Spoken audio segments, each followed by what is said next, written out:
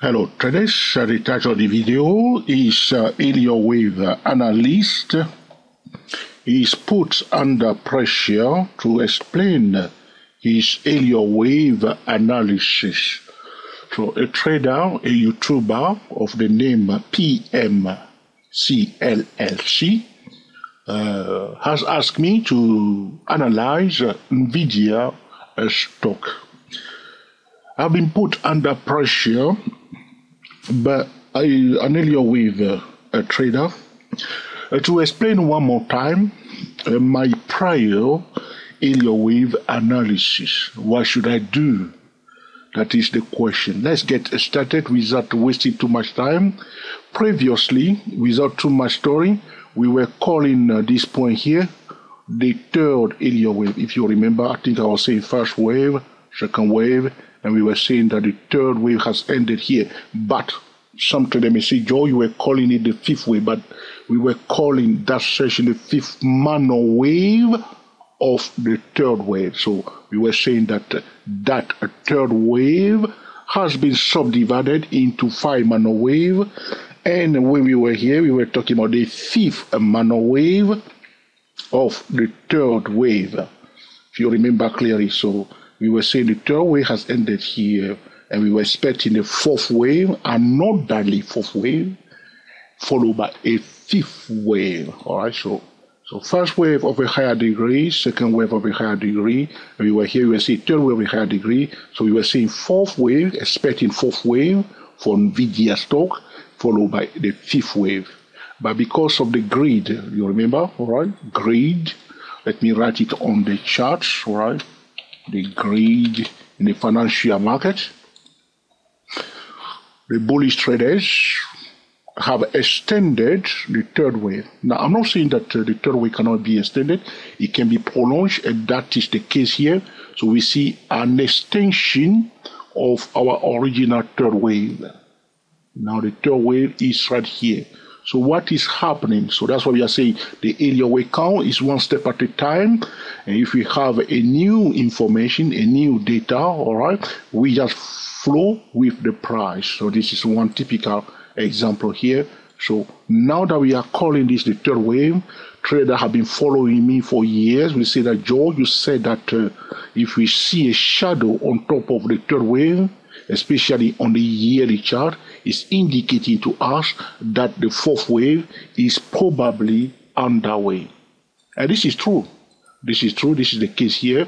But this is a yearly candlestick bar. It's not yet closed. We will see how the year will close. All right, we'll see how the year will close, and then we can see clearly the structure, the beginning of the fourth wave of a higher degree. So where we are now, we can put here.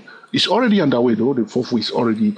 It looks to me that it's already underway unless uh, we see more extensions. God knows what. All right.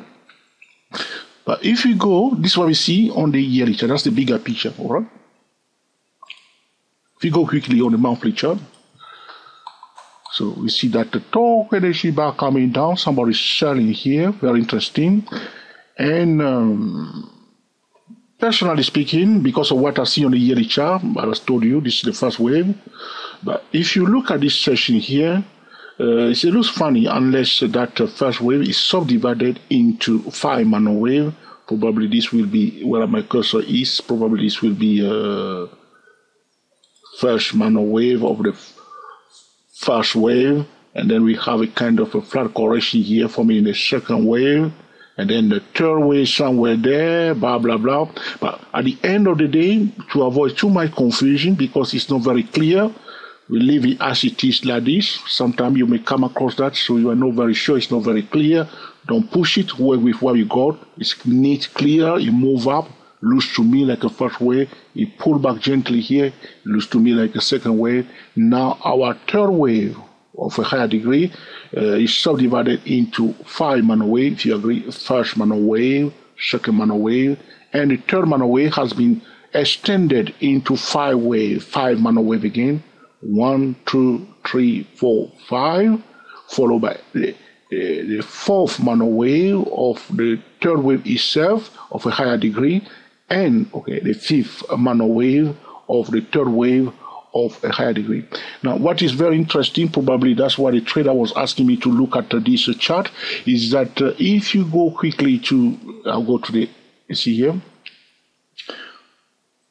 we were in loose this year, you can see a consolidation. So, a lot of traders, this is what we are saying. When we are talking about a consolidation, remember what we said before, what do we think of? We think of the horizontal channel, yes or no? A consolidation that's the first thing that's coming to the mind of traders. What is the second thing that we are thinking of? A triangle. Okay? A triangle. That's the second thing coming to our mind. And also, I told traders sometimes the price will be in a, a rising channel or a declining channel, but it will be consolidating gently. This is the case here. Though it's in a rising channel in this session, it is consolidating, going ups and down. All right.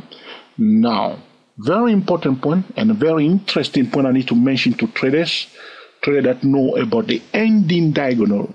So when we are talking about the ending diagonal, we are talking about the fifth wave, whether it's a fifth minor wave or a real fifth wave, is confined in a triangle.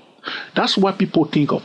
But the best way to interpret the ending diagonal is that the ending diagonal is the fifth wave that is a consolidation.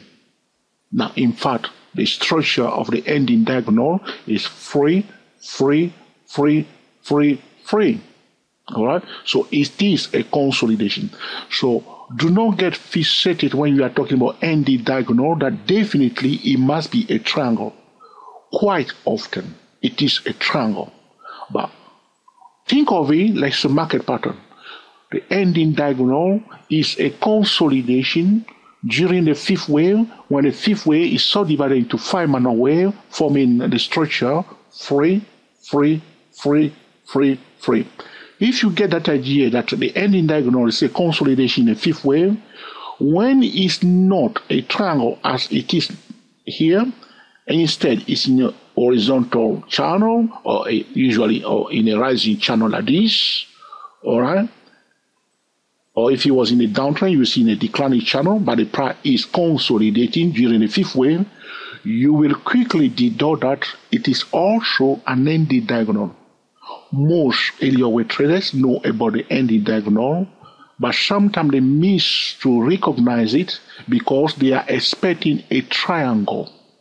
But the best way to understand it is, is a consolidation. And this is one example here where we have, okay, uh, the fifth minor wave of the third wave, it is, okay, an ending diagonal. So, let me say, some of them may disagree with my wave count. That's okay with me, all right? So feel free to disagree because I'm reviewing my prior wave count, looking at uh, what the prior has done so far, all right. All right. So, in my view, all right, in my view, this is right, the fifth wave subdivided into five minor wave. Now, the structure normally should be free, free, free, free, free. Sometimes it's not very clear. Here it's not very clear. All right. So here, this one looks like a three. This one doesn't look like a three. This one looks like a free. This one doesn't look like a free. This one is just one move up.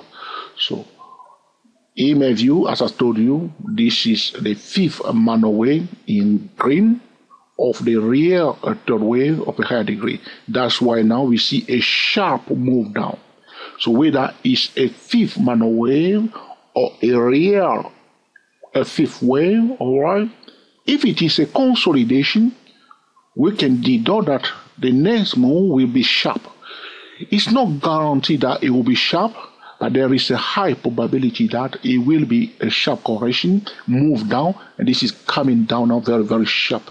That's why we see now, if we go to the monthly chart, that the move one candlestick bar clearing completely, okay, the the gains of 2018 long candlestick bar because the Elliott wave trader has spotted that a fifth wave it is a consolidation. So the strategy that you should adopt during that time, all right, Whenever you see a consolidation during the fifth wave, after a bullish move like this, all right, you just you just concentrate on selling at the top. Whether it's a triangle, horizontal channel, or whatever, you will see either a triangle or a rising channel. Because usually it will be pointing up, so it won't be horizontal channel. Right? You will be pointing up. Because the triangle that we are talking about, all right, normally is like this, all right, should be like this, pointing up. All right, pointing up like this, all right. But in this case, it's not a triangle pointing us. Sometimes they say it looks like a, yeah, we can agree that it looks like a triangle, but a lot of traders will agree that it's a channel pointing up. Either it's a triangle pointing up or a, a channel pointing out. But the most important thing is that a consolidation is taking place during the fifth wave. Sometimes you may see clearly those uh, internal waves. Sometimes it can be a little bit messy, but at that point in time, practically trading, all you do care about because you know that this is a fifth wave, whether it's a fifth minor wave as it is here, you just concentrate on selling here and selling here and selling here. All right. And now, okay. So this is what's happening here. So we are now in the fifth, in the third wave of a higher degree, and the fifth minor wave of that third wave is a consolidation it's an ending diagonal that is a little bit hidden. Now we are seeing the first leg, so to speak, of the fourth wave of a higher degree. All right? Okay, so that's this was happening also. It's the fourth wave of a higher degree that is taking place. As I told you, this is this candlestick bar uh, if you go to the yearly chart, you, as I was telling you, the yearly chart, see bar is not yet closed. It will be closed at the end of December. So all the gains of 2018 has been erased. Now, personally speaking, you can expect that because as we were telling traders it will be better, this is what we say, when there is a distortion, all right? And a distortion is prolonged, which we call the distortion relating to the time it took for the distortion to be completed, the correction is usually very sharp. All right, very sharp. This is one example here. So instead of having another fourth wave of a higher degree here, and then pushing in the fifth wave, people are pushing it, pushing it, pushing it, pushing it, pushing it, pushing it. Now we see the price crashing down very fast, erasing all the gain of 2018. All right. What can you do about that? All right. Now, I need to point out also to traders that uh, if you were in a downtrend, you will be, for instance, you're in a downtrend, you see either, okay, a channel pointing down during the fifth wave, all right, or you see uh, a triangle pointing down during the fifth wave, it is a consolidation in a fifth way or in a fifth minor wave. You want to concentrate on looking for opportunity to buy. So in this case, if it was in a channel like this, you'll be concentrating on buying at the lower part of the base of for that uh, okay channel like this because you know that it's coming to the end. Another thing that I need to explain to traders on the weekly chart, you can see that uh, during the fifth wave, in an uptrend, we have what we call a distribution. And this was happening here. People were distributing, they were selling it gently. People, this is the activity, the large commerce in the market, all right? These, those are retail traders. So everybody know that uh, NVIDIA is going up. The, the trend was in place for years, all right? Now those people want to also to be part of it. They're pumping money into the market. They're pumping money into the market. And the smart money just selling them down. So when they were buying all this time, so they probably they were here buying. If they don't take their profit, if they were not day trading, if they were not swing trading, and they are long-term investors, they will be leaking their wounds, so to speak, right now. You see now? So this was happening. This is the activity of what they call the dumb money that usually come into the market in the fifth wave, either the fifth minor wave of uh, an impulse wave that is about to end. So the impulse wave is about to end, and the corrective wave is about to begin. And those people sometimes they are they are in fact they are uh, the worst enemy of technical traders because they will extend the price, they will push it more. So like now, if you go to the uh, monthly chart, you can see that uh, a lot of uh, okay swing traders were busy selling, waiting for the price to pull back to form another fourth wave. And these people, usually some of them fundamental traders, they will just come in and pushing the price out, and they take those people out of their trade if they don't have an enough stop loss, or they may create uh, okay, uh, all right a put option expiration, and uh, technical trader end up losing money before the price will crash down. Now, the big institution, as they see that uh, this is a dumb money activity, they are busy selling them down as they are buying it.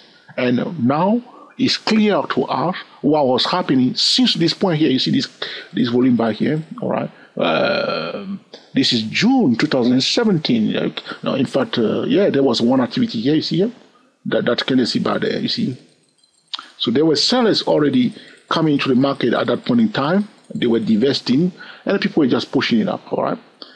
Now, so all in all, without too much long story, first wave of a higher degree, second wave of a higher degree. We are now in a third wave of a higher degree that is subdivided into five minor waves. The fifth minor wave of the third wave of a higher degree is a consolidation. One can consider that as an ending diagonal for that third wave of a higher degree. We are expecting now the fourth wave of a higher degree, uh, all right, which is, I believe, uh, we'll see how the, the year will end. And uh, from there, we will analyze, okay, where is the fourth wave uh, is headed, all right? Before we wrap it up, all right, one more time, let's see whether I can uh, squeeze my pitchfork through on this chart. All right, put it here. Okay, you can you can leave a pitchfork tool like this on your chart because uh, all right, just just to do that. Okay, put it here, leave it on your chart like that. Don't remove it. All right.